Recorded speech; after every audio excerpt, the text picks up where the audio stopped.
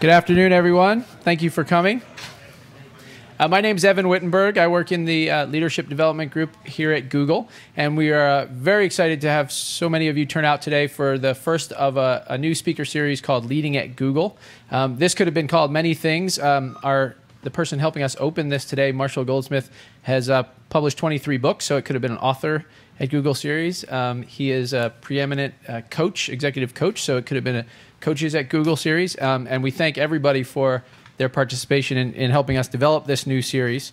Um, the idea of the series is we get lots of wonderful people here at Google to talk about all kinds of stuff. This one is specifically to talk about um, leadership development, management development, managing yourself and your careers and your success uh, in life, both uh, professional and personal. So that's that's kind of why this series exists. We hope to have at least a couple talks a month. And thanks for helping us kick it off. Our uh, esteemed speaker today, and, and Marshall, thank you much so much for coming, um, is Dr. Marshall Goldsmith. He's a world authority in helping successful people get even better at what they do. Uh, he's worked with over 80 CEOs at the top company companies in the world, and uh, of course, we think what he has to say applies to all of us as well, uh, not just uh, our CEO. Uh, he has a PhD from UCLA. He studied math undergrad, uh, as many of you in the room did, I think, and um, all of his materials are free online um, at marshallgoldsmithlibrary.com. So he's very good about uh, sharing his things out to uh, the crowds. And uh, this talk will also be shared, of course, on YouTube and, and elsewhere. I think that's all I want to say about Marshall. His book, which some of you got, we actually had more than normal, um, and still they went very quickly. Uh, but his new book is called What Got You Here Won't Get You There. It was a Wall Street Journal number one best selling business book and it's how successful people like you can become even more successful. So that's all I'll say, and uh, I'll introduce Marshall Goldsmith.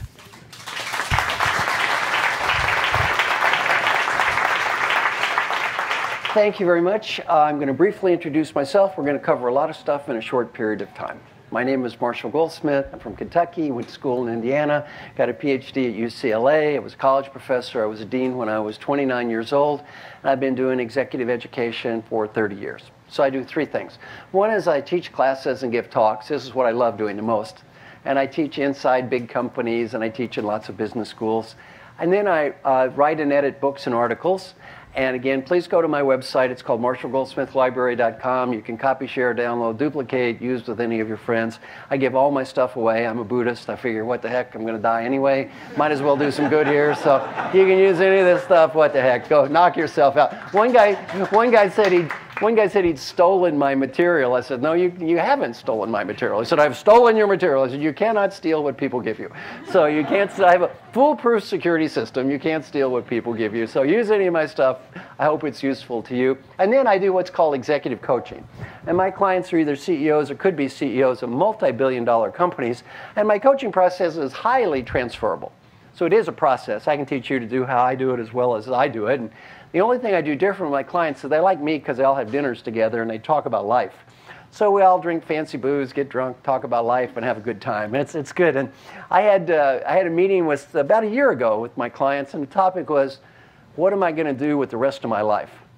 And these are mostly people between 59, 62 years old. And one guy was 61, and he was a number two guy in a big company. And he said, what do you think I ought to do? I said, You're number two, you're probably not going to be number one. Your numbers are way up here. You're kicking butt. Two or three years, your numbers go down. They're going to fire you anyway. Leave now. he said, Leave and do what? I said, I don't know. Go out and find something exciting to do for profit, not for profit. About a year ago, he found an exciting new job. He is now the CEO of the Ford Motor Company. yes, I'm proud of him. He chose to work for a nonprofit organization.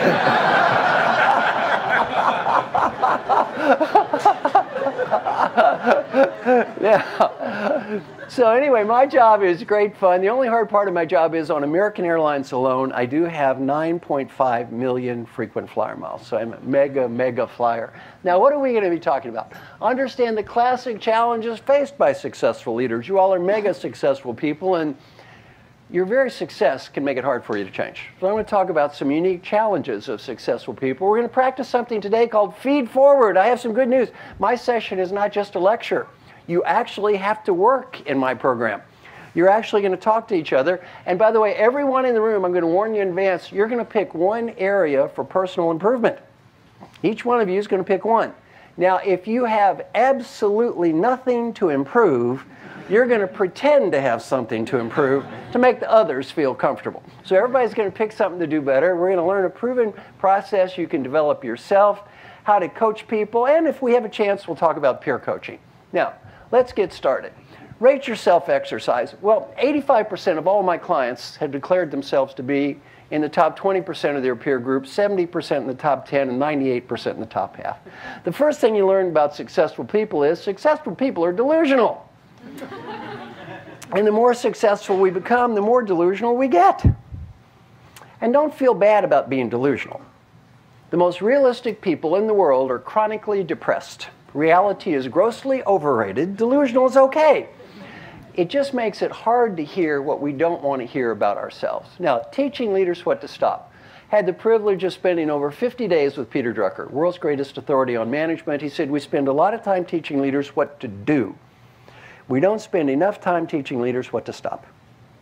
And that's what kind of led to my book. Now, annoying habits that can hold us back. Yes, I tried to meet as many as you as I can, and I, I'm looking around the room. Yes, I'm looking in your eyes. The first disease of successful people I can see running rampant in this room. What is this problem called? Winning too much. And what does that mean? If it is important, we want to win. Meaningful, we want to win. Critical, we want to win. Trivial, we want to win. Not worth it, we want to win anyway. we like winning. I'm going to give you a case study that 75% of my successful clients fail. Yes, I will predict most of you will fail this case study. And when I say fail, they fail themselves. They say, What I would do is the opposite of what I know I should do. Are you ready? You want to go to dinner at restaurant X. Your husband, wife, partner, friend, or significant other wants to go to dinner at restaurant Y. You have a heated argument. You go to restaurant Y. This was not your choice. The food tastes awful. The service is terrible. Option A, critique the food. Point out our partner was wrong. This mistake could have been avoided if only they would have listened to me, me, me, me, me. Option B, shut up. Eat the stupid food. Try to enjoy it and have a nice evening. What would I do? What should I do? 75% of my clients, what would I do? Critique the food. What should I do? Shut up. How many people in the room have ever critiqued the food before? Raise your hands. Food critiquers. Yes, a room filled with food critiquers. Was this a smart thing or a stupid thing? Stupid. And as stupid as it was, yes, it was stupid. I'm going to give you an example now that is so hideously stupid. It will make that one pale by comparison. And yes, I will predict that most of you have done this. Are you ready? You have a hard day at work, a hard day. You come home. Your husband, wife, friend, or partner is there. And the other person says, I had such a hard day today. I had such a tough day. And we reply, You had a hard day. You had a hard day. Do you have any idea what I had to put up with today? Do you think you had a hard day? We are so competitive, we have to prove we are more miserable than the person who lives with us. I give this example in one class. The guy in the back raised his hand. He said, I did that last week.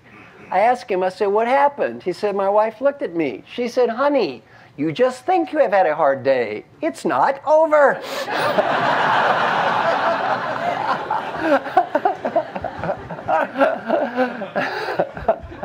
now, the next problem, a classic problem of smart, successful people, adding too much value. What does this mean? I am young, smart, enthusiastic. I report to you. I come to you with an idea.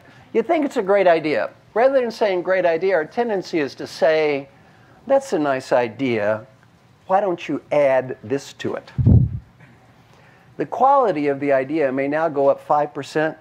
My commitment to its execution may now go down 50%. It's no longer my idea. Incredibly hard for smart, successful people not to constantly go through life adding value. Have any of you been trained as scientists or engineers before?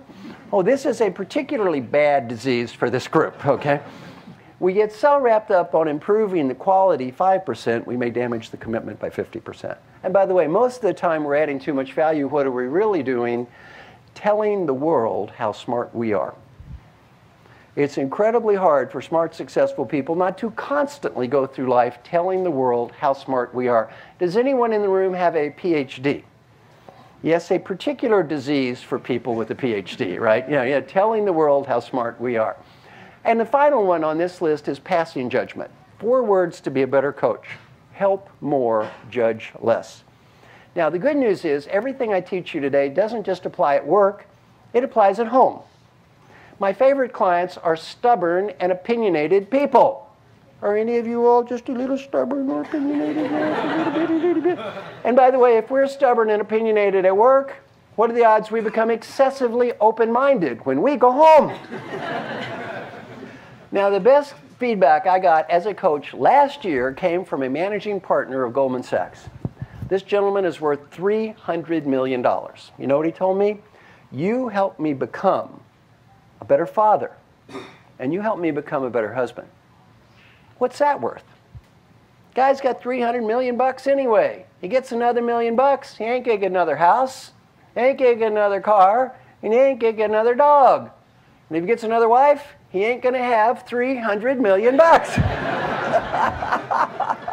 this is worth a lot. now, using small amounts of money to create large changes of behavior.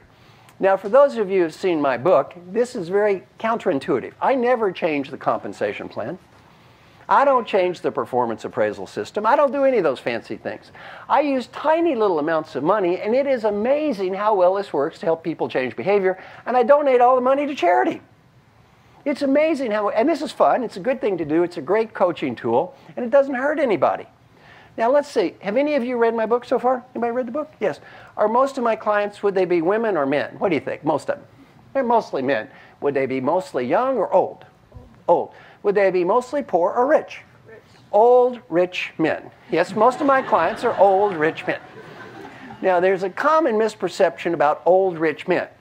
That is, old, rich men would not mind losing tiny amounts of money. that would be wrong. They hate losing any money. Watch them play golf. They lie, they cheat, they swear at each other. For what? $5. They hate losing money. And it is amazing how well this helps people change behavior. Now, let me give you some examples. Number one, destructive comments. Have you all been taught we want to create positive relationships across the organization? We want to reach out to our coworkers and develop positive win-win relationships. Have you been taught these things? What happens to the quality of all these positive relationships when we stab our coworkers in the back in front of other people? Does this make it better or worse? Are any of you all here in a corporate headquarters kind of staff job? Anyone? Liars. Somebody is. well, you're in a staff job, aren't you? Yes, you are. Yes, yes, yes. Well, think about it. Have any of you gotten into the bad habit of bum rapping your coworkers in front of other people? Very bad habit. Now, I don't want to look like I'm preaching at you. I also get feedback. If you look at my bio, all those glowing reports, none of that feedback came from my staff, and none of it came from my family. In fact, this one report, Wall Street Journal, top 10 consultant in the world, my daughter reads this report. You know what she says? Daddy, I want to go into your field. I said, Kelly, that makes Daddy so proud. Why do you want to go into my field? She said, The standards are low.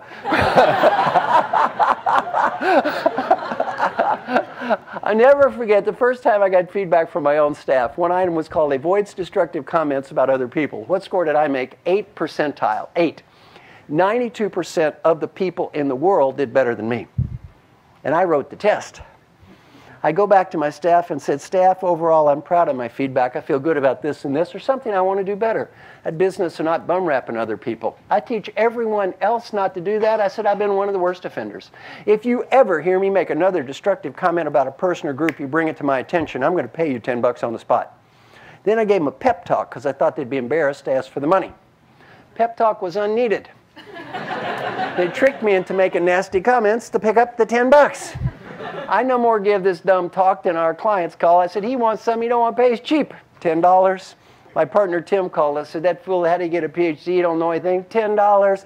By noon, I'm out 50 bucks, locked myself in the office, and refuse to speak to anybody for the rest of the day. First day, it cost me 50 bucks. Second day, 30 bucks. Third day, 10 bucks. Still cost me money? What score did I make on that last time? 4.8 out of a possible 5. What does this teach you? Spend a few thousand dollars, you get better.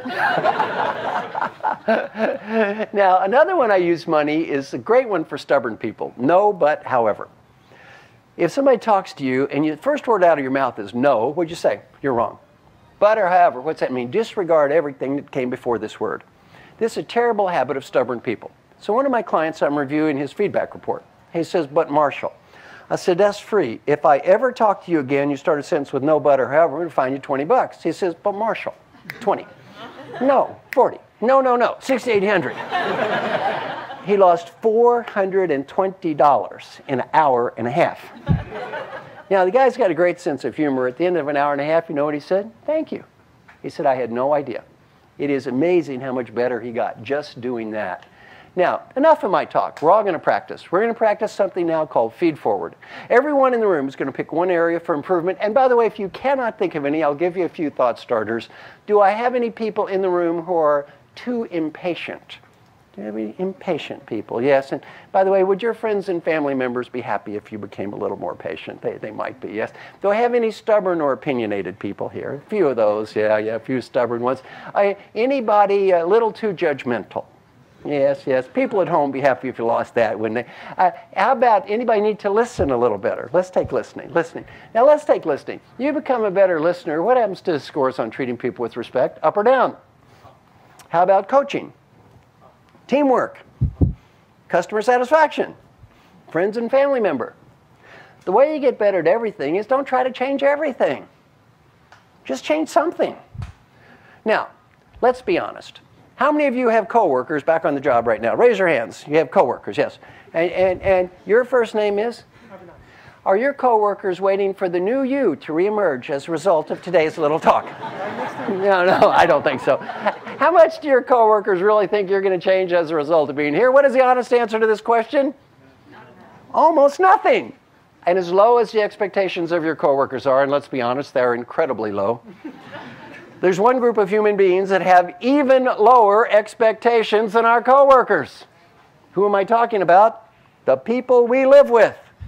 And if you do not believe this is true, you go home tonight and you talk to your spouse, partner, significant other. You know what you say? You know, dear, I met this friendly, bald behavioral coach, Marshall. and I'm going to be a better partner in our relationship based upon what I learned today. Look at the face of the other person. they have absolutely no belief you're going to change anything.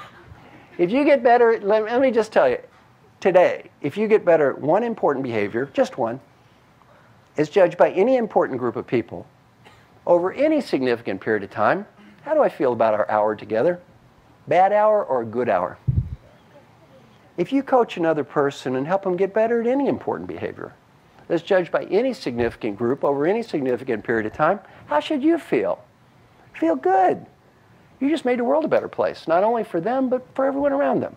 So everybody in the room is going to pick one behavior to improve. What's one thing you want to get better at? I want to be less judgmental. Less judgmental. That's good. How about you? More patient. More patient. How about you? Uh. Yeah, it could be recognition or. Yeah, by the way, here's another thing I would teach you about coaching. If people get better, where's it got to come from? Inside them. You ain't going to make anybody change what they don't want to change. Have any of you ever attempted to change the behavior of a successful adult that had no interest in changing? Any of you ever tried this? How much luck did you have in these religious conversion activities? Now, I'm going to ask you a question. Is this an honest group of people of high character and ethics? What do you think? Except for me. Except for you, right? But the others are pretty honest, right? We're going to test this. I'm going to ask you all a question. A troublesome question, a personal question, yes, even an embarrassing question. If the answer is yes, you must raise your hands. How many people in this room are still stupidly attempting to change the behavior of a husband, wife, partner, or significant other who has absolutely no interest in changing? Come on, raise your hands. A room filled with waving hands. How long have you been engaged in this stupid behavior? Give me a number. Forever. it hasn't helped at all, has it? What is this person? What is this person's name? she doesn't want to say. I'm going to help everybody. Ah, let it go. If you don't learn anything else from me today but this tiny lesson, you'll be a better coach and have a happier life. If people don't care, don't waste your time. As a coach, put your time and energy in with the ones that do care. Now, if you're going to get better, the motivation for your improvement is going to come largely from one place. Where's that? Inside you. I can't make you change anything. My job is not to make you change what you don't want to change. It's to help you change what you do want to change. So pick one behavior you think, if I get better at this, it's going to make a positive difference in my life. My job, try to help you get better at that. Okay? Now, everybody's going to pick one. I'm going to participate as well. My own area for improvement is I like people too much. I'm highly extroverted. I need more time thinking, writing, and reflecting. For every person listens to me speak, there are 100 people reading something I've written. It's not easy for me. It has nothing to do with money. I'm always flying on an airplane. On American Airlines, I have 9.5 million frequent flying miles. I always put off going to the airport till the last minute, and sometimes I'm flying on the plane, sometimes a poor man sits next to me. Occasionally, we're on a six hour flight. He makes a terrible mistake. He looks up and he goes, What do you do for a living? Six hours later, I look over, he's going, Great is the need of the student to learn. Far greater is the need of the teacher to teach. My problem is not doing what I do, it's stopping. How many of you have a problem not doing what you do, but stopping doing what you do? Yeah, sometimes the problem isn't turning it on. Sometimes our problem is turning it off. Everyone in the room is going to pick one area for improvement. Now we're going to practice something called feed forward. In feed forward, you're going to be in two roles. Role number one. It's going to be called learn as much as I can. Are there some smart people in this room? Yes or no? Yes, sir. Yes. If you had a chance to learn from these smart people, would you like to do that? Yes, sir. Very good. Role number two is going to be called help as much as I can. Are there some nice people in this room? Yes. If you had a chance to help these nice people, would you like to do that? Definitely. You're going to be learning or helping as much as you can. Depends on what role you're in. Now, what are the rules? Rule one no feedback about the past. I want everyone in the room to stare intently at the faces of everyone else in the room. Look around the room, look at all these faces. Now, let's all take a deep breath. Ah, you see, whatever sins anyone in this room has committed up until this second in time, we ain't gonna fix those. We spend too much time talking about the past anyway. You can't change the past. Have any of you been impressed with your wife, husband, or partner's near photographic memory of your previous sins? Which have been documented and will be shared with you in a repetitive and annoying way. Well, you can't change the past anyway. Rule one no feedback about the past. And rule two is the hard rule you can't judge or critique suggestions. When people give you ideas, don't say good idea, bad idea, I already knew that, that'll never work. No matter what people tell you, you must stand there, shut up, listen. If you have pencil and paper, take notes. If not, just listen. All you can say is thank you. Now, how does this work? You come to me and say, I want to get better at X. I'm going to give you one or two very quick ideas. No feedback about the past, only ideas for the future. What do you say? Thank you. No matter what I say, you say thank you. I say I want to get better at Y. You give me one or two ideas. What do I say? Thank you. We shake hands, you rush off and talk to somebody else. This is a competitive exercise. It's going to last five to 10 minutes. We're going to see who can talk to the most people in the next five to 10 minutes. Four guidelines positive, simple, focused, and fast. Now, I want everybody to stand up. Stand up. You now have 20 seconds to get out from behind those chairs and get down here. To your marks, get set, go. 20 seconds. Let's go. Get down here. Go, go, go, go, go. Go, go, go. Walk to the front, 20 seconds. Get out from behind your chairs. Yeah, get out from behind your chairs. Okay, hold. Does everybody understand the exercise? No, let me tell, no, no. All right, back to listening. Shh, shh. Everybody picks one behavior to improve. You come to me and say, I want to get better at X. I give you one or two quick ideas for the future. No feedback about the past. What do you say? Thank you. I say, I want to get better at Y. One or two quick ideas. I say, thank you. Shake hands. Positive, simple, focused, and fast. Talk to as many people as you can possibly talk to in the next five to 10 minutes. Two marks. Get set. Go. Go, go, go, go, go. Go, go, go, go, go, go, go.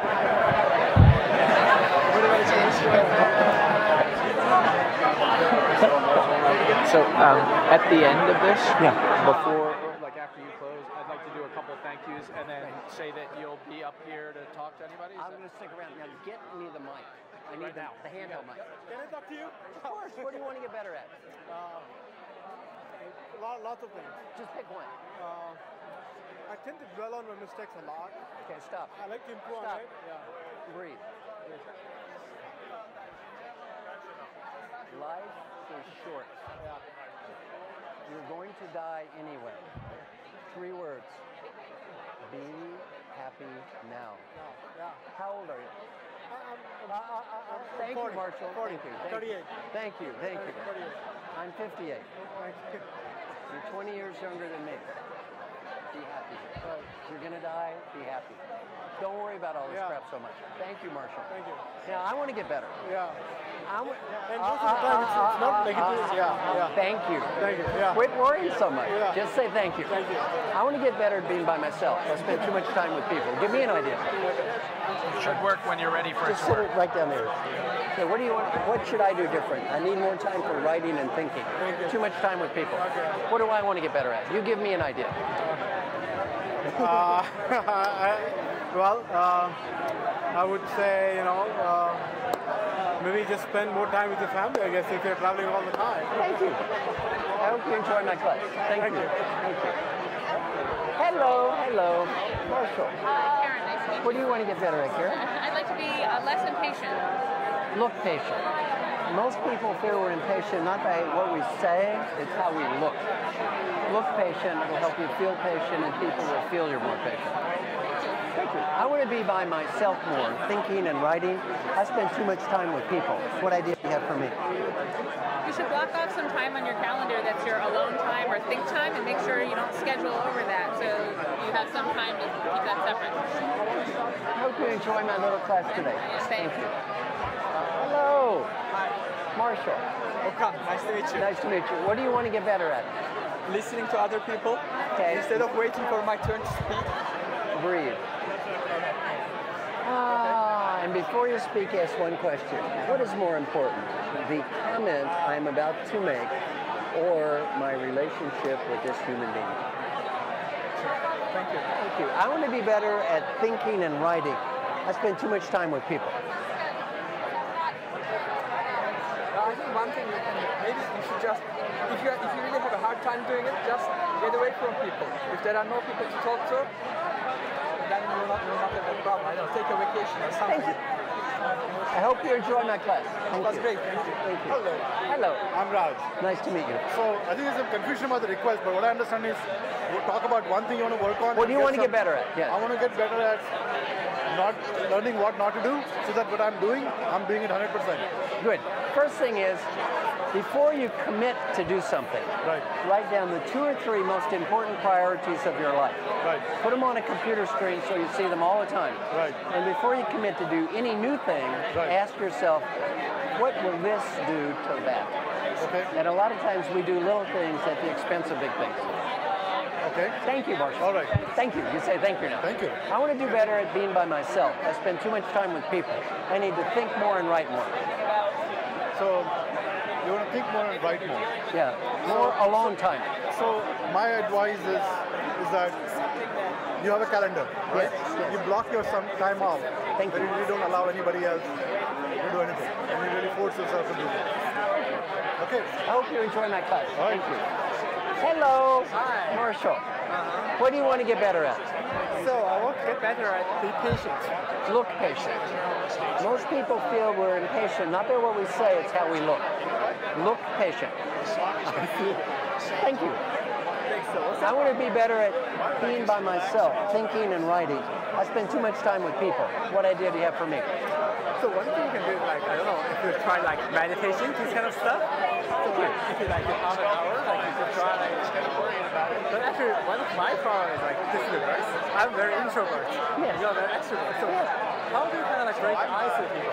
Sorry. Do this. Do this. Yeah, I've been like seven people already. Thank you. It's just like generally Quit worrying so much. Don't worry so much. Don't worry so much. Life is too All right. short. Thank you. Can you help me? Yes. Can you please hold this chair so I don't fall down? Yeah. Can you help me as well? Can you guys both hold this chair? You hold the back and you hold the front so I don't kill myself. One of you hold this part. Yeah, yeah. Oh, stop! Oh, stop! Stop! Stop! Oh, stop! Stop! Stop! Look up here! Look up here! Look up here! I'm gonna go like this. When I go like this, you will all shout out one word loudly and simultaneously. This will be the first word that pops into your head. I will begin a sentence. I will leave out the last word. I will go like this, and you shout out a word. Okay, is everybody ready? This little exercise was great, positive, useful, helpful, fun. People say good things. One of the most common words you heard was fun. What's the last word you think to describe any feedback activity? Fun. Has anyone ever called you on the phone and said, I have feedback I'd like to share with you. Please come to my office. And you said, fun, fun, fun. Fun, uh, you guys got to hold it so don't die. Fun is the last word I, you comes to your mind. I've done this with tens of thousands of people around the world. 95% say it's positive, useful, helpful, or even fun. The answer to this question will help you be a better coach. Why? You now have 20 seconds. Remain standing. Join a group with three, four, or five people. If you have six, break up into two groups of three. To your marks, get set, go. Go, go, go, go, go, go, go, go, go, go. Except for you guys. You stay here. Hold it, Anthony. I don't want to die. You two stay here. Okay, stop. Oh, stop. Stop, stop, stop, stop, stop. Stop. Raise your right hand in the air. Point your right index finger at the ceiling. Point. When I count to three, point your spokesperson. One, two, three, point.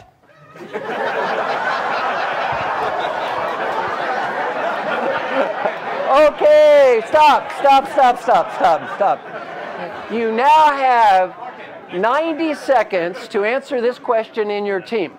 The answer will help you be a better coach. Why do 90% of the participants in the exercise say it's positive, useful, helpful, or even fun? To your marks, get set, talk to your team members. Go.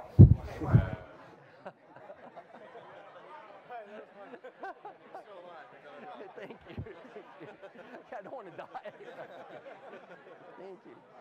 Um, so I think it's fun because, you know, like no matter what I say to you, you say thank you. And that's that's great. I love that. I know I know that I'm not going to get back a. Uh, I'm already tried that, or, or guess what? That won't work.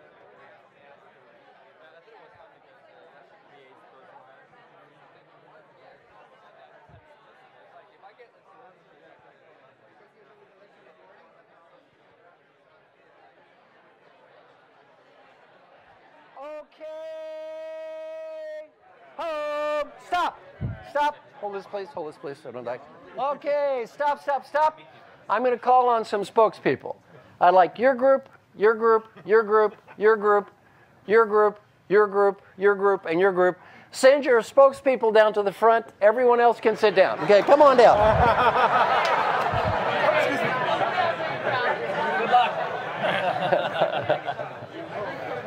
Okay, mobile mic. Can you turn on the, oh good, it's on. Okay, mobile mic, testing, testing. Come on down, spokespeople. All right, okay, come on down, spokespeople. Now, spokespeople, talk loudly and talk into the mic. You're not just talking to me, you're talking to the whole group. Why do people define the exercise to be positive, useful, helpful, or even fun? Okay, I guess And I'm pass first. it over to him when you get done.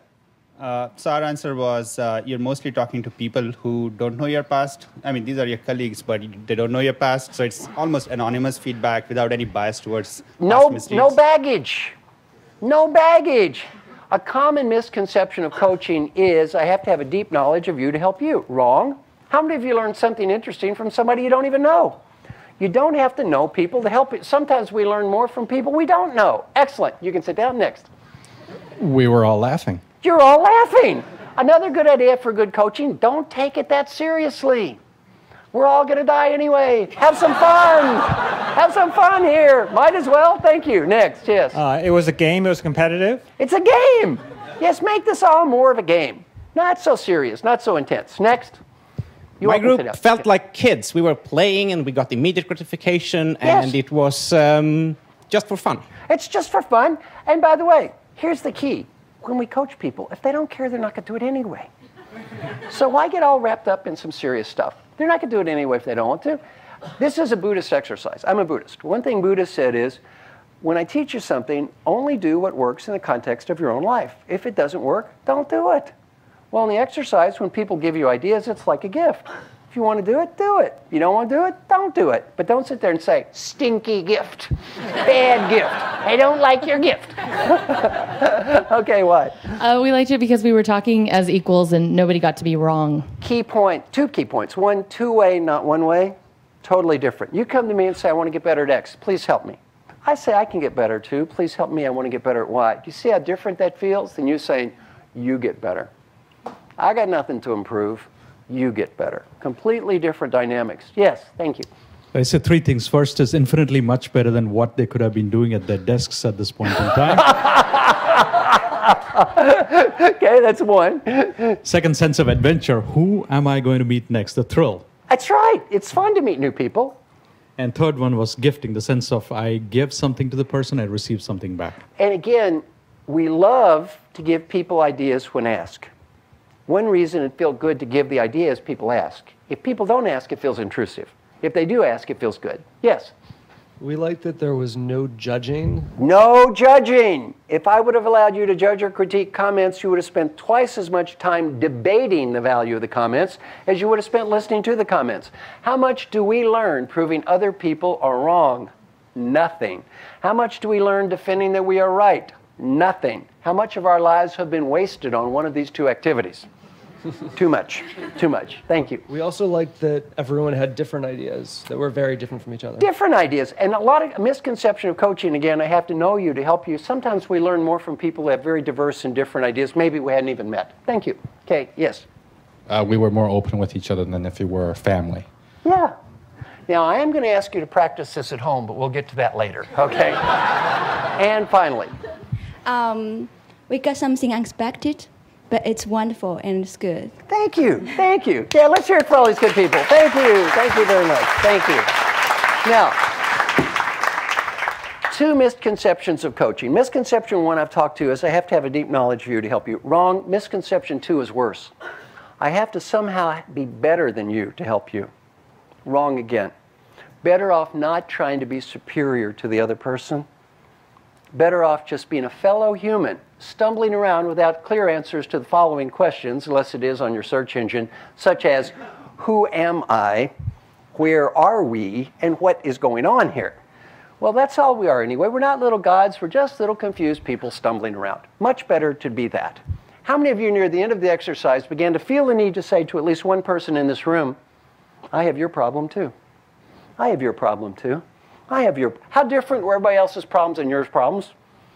And what's amazing, I do this all around the world. I was in Saudi Arabia last month, 500 guys in long white outfits. Their culture is different. This exercise is all the same.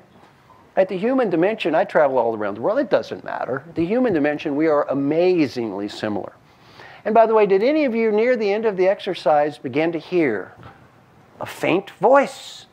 A little voice. A little voice speaking in the back of your head. A little voice going, Excuse me.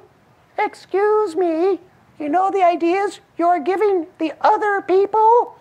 Why don't you do any of them yourself? Some of you heard the little voice. well, I don't have to be superior to you to help you. Better off just being a regular old human like everybody else is. Now, this exercise is going to be the essence of how I teach you all to do coaching, and we're going to practice now. You now have 10 seconds to find a partner. To your marks, get set, find one partner. Go, go, go, go. Find a partner, find a partner.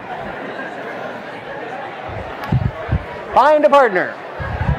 Okay, good. Does everyone have a partner? Get a partner. One partner per person. All right, now we're going to practice peer coaching.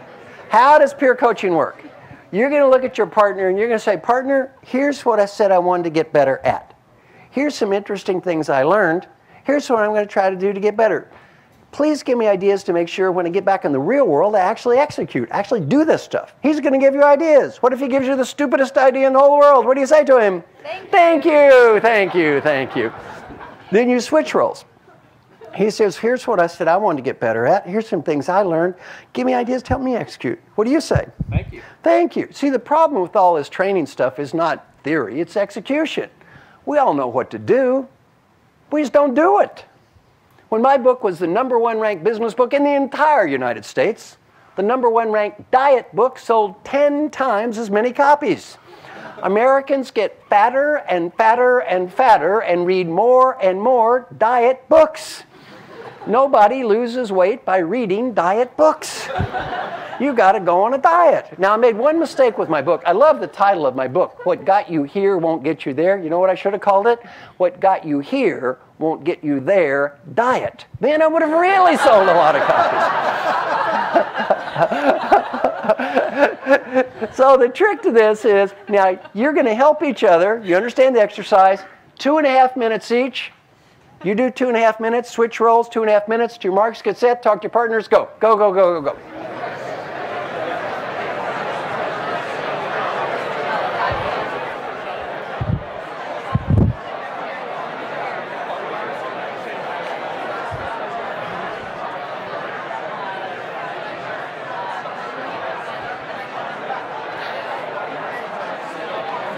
So what do you want to get better at? I want to um, be able to concentrate on one thing at a time, one task at a Hello.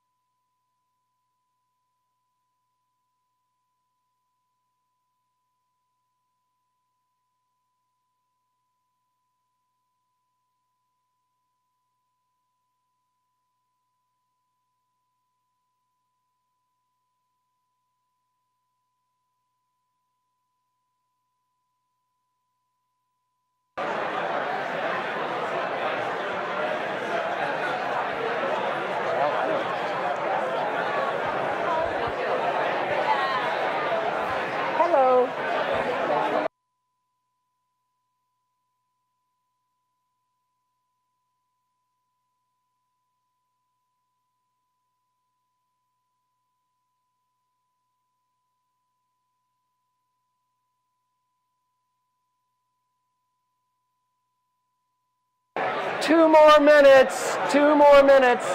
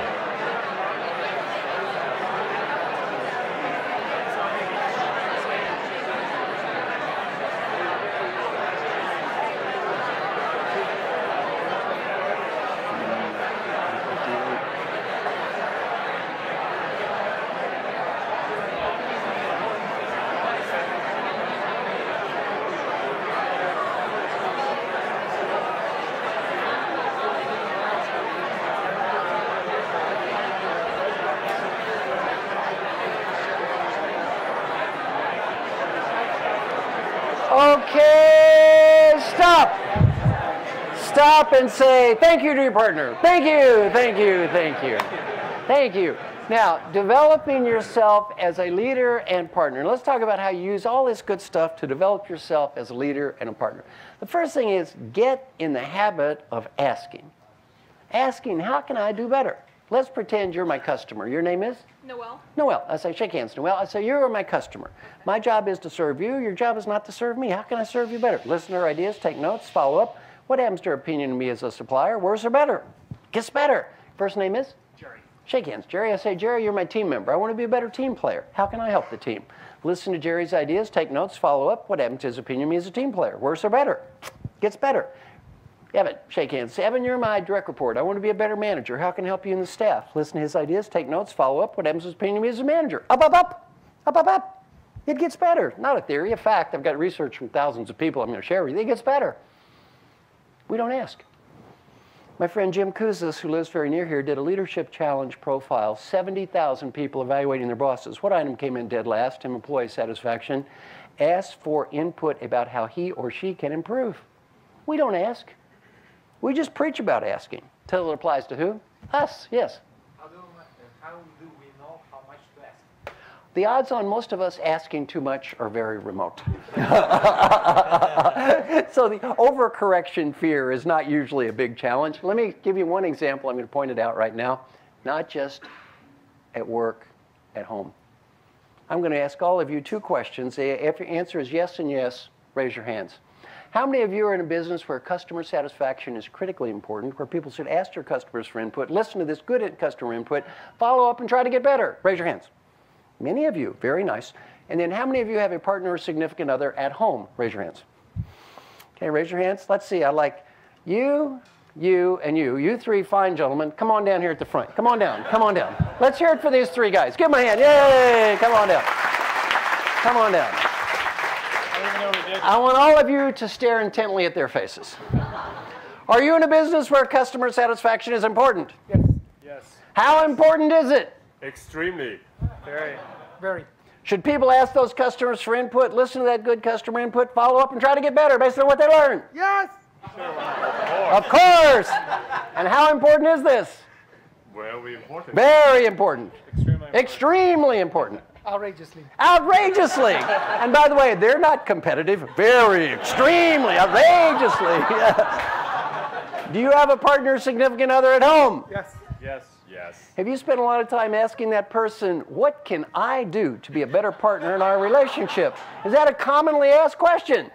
No. Sparingly. No, no. Sparingly. That means almost never, doesn't it? Yes, it's no, no, no. Weekly. Oh, yeah, right. Liar, liar. now, wait a minute. Now, look at their faces.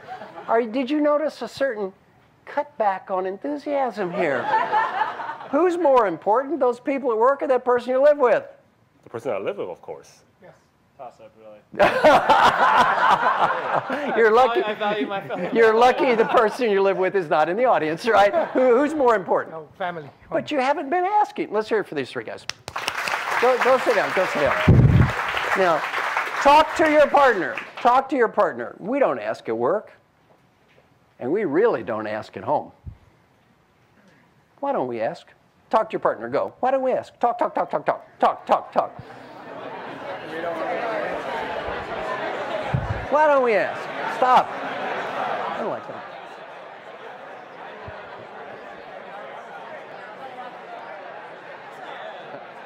Okay, stop. Stop, stop, stop. Shh, shh, stop. Why don't we ask? Yes, why don't we ask? We take them for granted.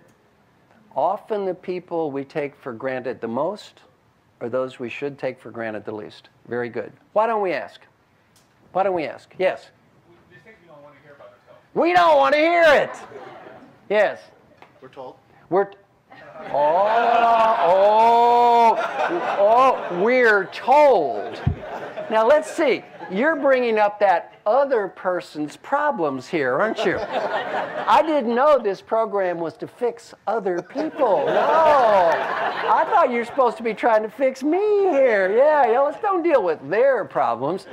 Why don't we ask? What is the big reason we don't ask deep down inside? You know why we don't ask?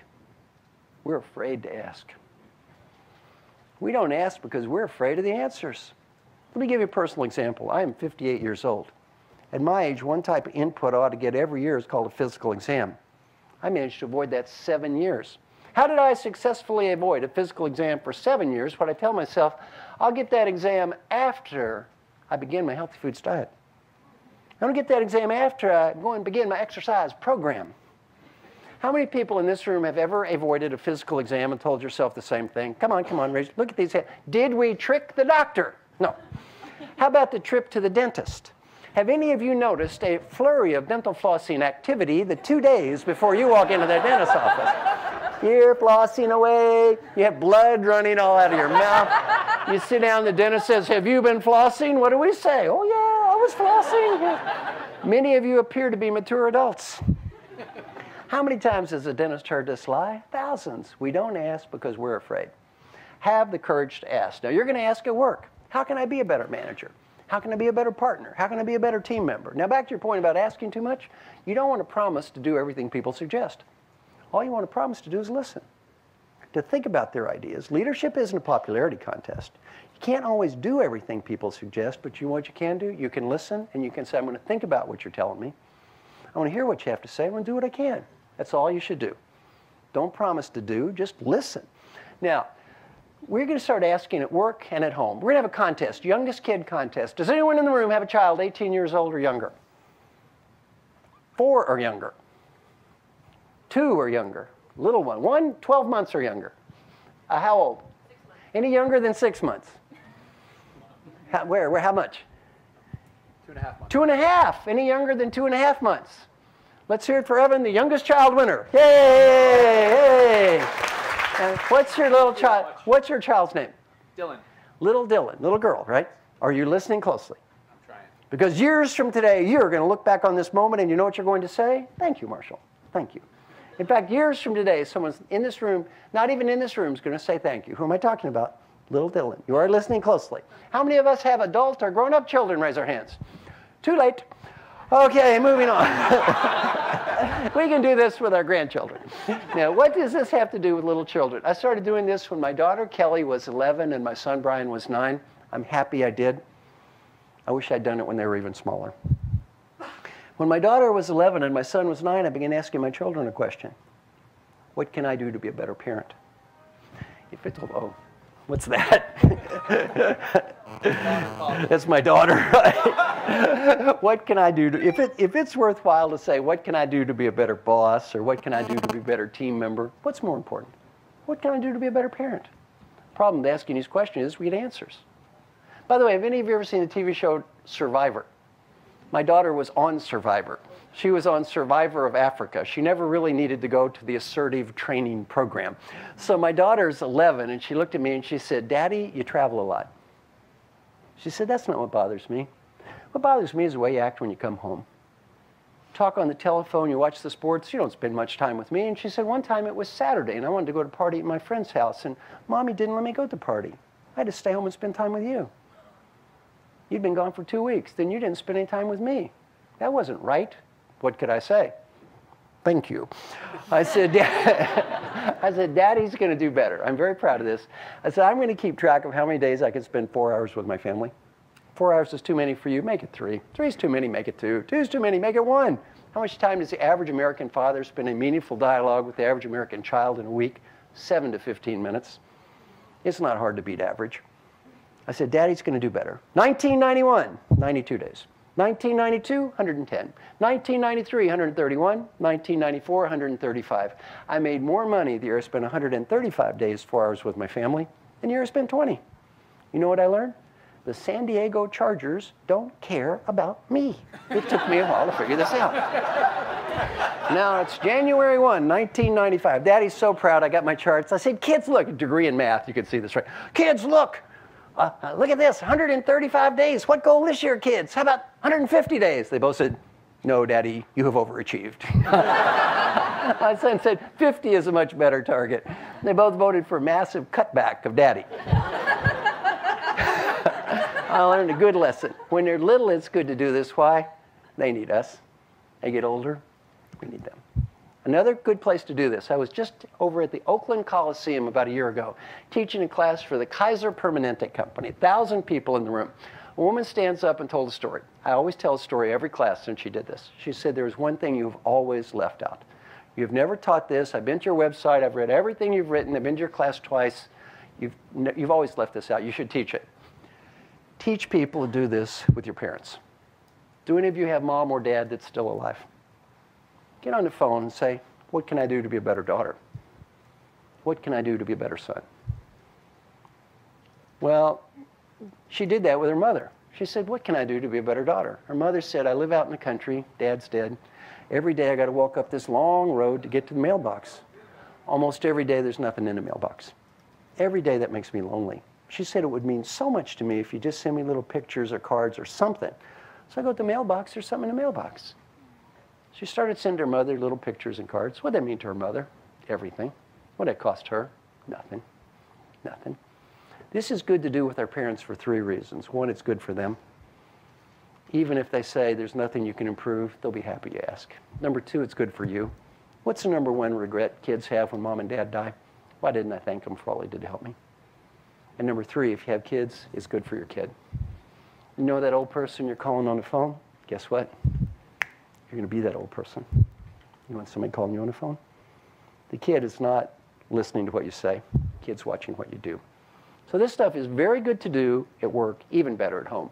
Get in the habit of asking for input, listening to it, thinking about it, thank people, don't punish them, and then respond. Now, all of you get something called 360 degree feedback. Is that, is that correct? I thought I heard this. I'm going to teach you now how to respond to feedback. This is what I teach all my executives. The rest of your life, if you ever get 360 feedback, just do this. Four guidelines positive, simple, focused, and fast. How do you respond to feedback? It sounds like this shake hands. I'd say, Mr. Coworker, shake hands. I'd say, I just got this 360 degree feedback. I'd like to talk to everybody one on one about what I learned. First thing I'd like to say is overall, my feedback is, is very positive, ethical, dedicated, hardworking, caring about our company, our customers, creative, getting results, trying to do what's right. These are important values to me. I'd hope they might score high, and they did. I want to say how grateful I am for the positive feedback. Second, just thanks to everybody who took the time to, to say anything to me. I know how busy you are. Appreciate you taking the time to help me. Then don't say, but, say, and there's something I'd like to do better. And by the way, my advice for all of you pick one. I used to teach this stuff, and I said pick one to three. What do I say now? Pick one. One gentleman said, I love the pick one idea. I asked him why. He said, if you told me I could work on three things, I'd spend all my time on number three. I never have to face number one. Tell me I can work on one thing it's hard to hide from. Just pick one. That's enough. And I'd say, you know, there's something I'd like to do better. In the past, I've come off as stubborn, opinionated, know it all, always trying to be right, not an open minded listener. If I've done that to you or the people around you, I'm sorry. Please accept my apologies. No excuse. We all screw up. It's okay. What you do, make a mistake. Apologize.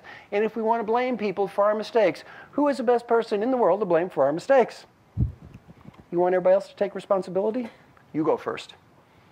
Let them watch you take a little responsibility. And the next part you're going to like, don't ask for more feedback about the past. Do any of you have direct reports? Have you noticed they do not like to give you negative feedback? Have any of you noticed this? You know why? They have not found it to be a career enhancing strategy. People don't like to give us negative feedback. Don't ask for it. I'd say I'm not going to ask you for feedback about the past. I can't change it anyway. I'm going to ask you for ideas for the future. Had to have ideas to be a positive, more open-minded listener. What would they be? Whatever he says, sit there, shut up, listen, take notes, and say thank you. Never promise to do everything people suggest. Leadership is not a popularity contest. I'd say I can't promise to do everything you and everybody suggest. I'm going to listen and think about your ideas, do what I can. Can't change the past. I can change the future. I can't get better at everything. I can get better at one thing. And I'm going to involve you and ask you to help me get better. What do you do? Then change. And the key to making everything work I teach is called follow up. What's it sound like? Last month I said I wanted to be a more open minded listener based on my behavior. Last month you had to have an idea to help me next month what it would be. Two months, three months. What happens if you do the stuff I teach? Summarized in a research study on the website, it's called Leadership as a Contact Sport. 86,000 people, eight major corporations, 12,000 outside the US. Eight corporations in totally different industries made absolutely no difference. Commonalities, every leader got multi-rater feedback. It was all shared with the consultant. They were asked to pick one to three areas of improvement, do what we just described. What did we learn? The people that got feedback didn't talk to people, didn't follow up, went to a course, their improvement looks like random chance. Do any of you know about probability and statistics? Well, this looks slightly better than a random distribution curve on a minus three to plus three scale. I've done a control group study. No training, no feedback, no nothing. The control group did this well. Might as well have been watching sitcoms. Useless. Little follow-up, a little better. Some follow-up, lots better. Frequent follow-up, much better. And finally, consistent or periodic follow-up, massive improvement. They all went to the same program. Was all taught by the same person, me. They got feedback on the same process. You know what I learned? If you get better, it don't have much to do with me. It's got whole lots to do with you. This stuff works. It just don't work if you don't do it. Let me give you an analogy. Any of you been planning to work out? How many people planning to begin a workout program? Raise your hand. Workout planners. How long you been planning to do this? Give me a number. Forever. Forever. Years. How about you? How long you been planning? You are working. Who's planning to work out? How long you been planning this? Give me a number. How much? One year. And your first name is? Irv. Irv. And your name is? Okay. Okay. So you need to talk to him. You only have one year of workout planning experience. He has over 10 years of workout planning experience. I think how much better his plan is than yours. Well, the problem's not planning to work out or understanding the theory of working out, it's doing it. You do this stuff, it works. It don't work if you don't do it. Now, what have we learned? Let me summarize. Follow-up works. What doesn't work, as an American, one of the worst elements of the United States culture, we have transported around the world the program of the year syndrome. Americans love buzzwords. We don't have customer satisfaction. No, we call it customer delight. We have a learning organization. We're empowering people, transforming leaders. Americans love to come up with silly words, put them up on walls, hop up and down. Next year, they change the words and do it again. Nobody gets better because of pep rallies, slogans, or buzzwords. If you want to get better, what works? Figure out what you want to be. Find some people you respect. Find out if you're doing it. Pick one thing to improve. Talk to people. Follow up. Stick with it and get better. Now, I'm going to finish with my favorite coaching exercise in the whole world. This is the best coaching exercise you will ever experience in this or perhaps any other lifetime. This is it. You're going to learn something now that's very important. You're going to listen to a very wise person talk to you. Whatever this person tells you, all you got to remember is do that. Okay, is everybody ready? Take a deep breath. Ah, take a deeper breath. Ah. I want you to imagine that you are 95 years old. You're just getting ready to die. You're on that deathbed. Here comes your last breath. Ah. But right before you take that breath, you're given a beautiful gift the ability to go back in time. The ability to go back in time and talk to the person in this room. The ability to help this person be a better professional. Much more important, the ability to help this person have a better life. What advice would the wise 95 year old you, who knows what was really important and what was not important and what matters and what don't matter and what counts and what don't really count, what advice would that wise old person have for the you that's sitting in this room? You don't have to say anything or write anything or do anything. In your mind, I just want you to answer two questions. Number one, professional advice. That old person wants you to be a great professional, a great leader. What professional advice would that person have? Number two, personal advice. That old person wants you to have a great life. Whatever you're thinking now, do that. Terms of performance appraisals, that's the only one that counts. A friend of mine interviewed a bunch of old people who were dying. Got to ask them this question What advice would you have? Three themes come up in the answers from old people facing death. Theme number one could be summarized in three words Be happy now. Not next week, not next month, not next year. Be happy now. The great Western disease we are spreading around the world. I'll be happy when? When I get that BMW, when I get that car, when I get that status. We all get the same when. People in this room are among the luckiest people in the history of the world. Don't get so wrapped up looking at what you don't have that you miss that, what you do have. Learning point number two stare around the room. Look at everyone's face around the room. Learning point number two is called friends and family. I'm going to help you. When you're 95 years old and you're looking around that deathbed, ain't no Google employees waving goodbye.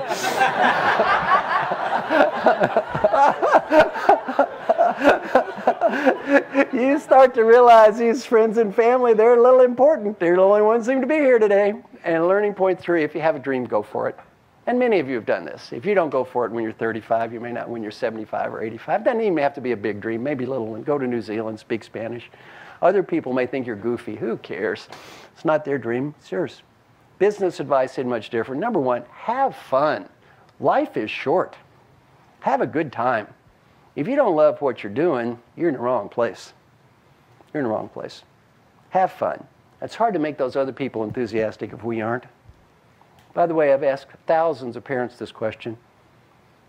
When my child grows up, I want my child to be. There's one word that comes from parents more than every other word in the world put together. What's that one word? Happy. You want your child to be happy? You want the young people who work here to be happy? You go first. Let them let you be happy. Learning point number two is people. Take the time to help people any way you can or coach people. The most important reason to do this has nothing to do with money. Most important reason is a 95 year old be proud of you because you did. Be disappointed if you don't. And if you don't believe this is true, interview any CEO who has retired, and I've interviewed very, very many, and ask them one question What are you proud of? Nobody told me how big their office was. All they talk about is people. And the final advice is also the same. Go for it. The world is changing, your industry is changing. Do what you think is right. You may not win. At least you can look in the mirror and say, ah, what the heck. At least I tried. Final thing I'd like to say is I had a wonderful time working with everybody. I'm going to stick around as long as anybody would like to answer questions. Everybody else can take off. I hope you have found this useful and help your life be a little bit better. Thank you. Thank you.